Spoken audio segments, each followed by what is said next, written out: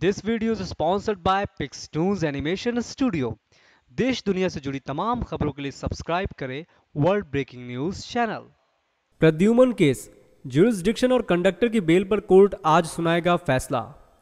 Riyan international school में हुए प्रद्युमन हत्याकांड मामले में सोमवार को एडिशनल सेशन जज रजनी यादव की कोर्ट में हुई।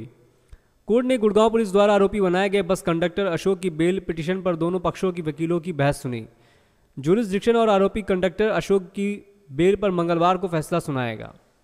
40 मिनट की सुनवाई हुई। सोमवार को मामले की सुनवाई दोपहर 12 बजे डिस्ट्रिक्ट कोर्ट में हुई।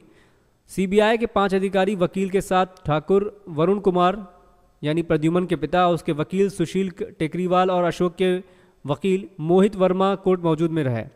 कोर्ट में जुरिस्डिक्शन की पर बहस हुई। इसमें सीबीआई ने सरकार की ओर से जारी नोटिफिकेशन पेश किया गया। करीब 40 मिनट तक चले इस सुनवाई में सीबीआई ने मामले से जुड़े डॉक्यूमेंट भी पेश, कोर्ट में पेश किए।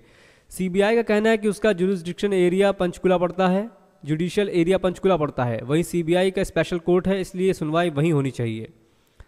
मंगलवार का दिन होगा बेहद अहम। 21 नवंबर को गुड़गांव के अशोक कोर्ट में, अशोक कोर्ट कोर्ट में अशोक की जमानत और जुरिस्डिक्शन पर फैसला सुनवाई देगी। वहीं पंजाब एंड हरियाणा पिंटो परिवार की अग्रिम जमानत पर फैसला देगी।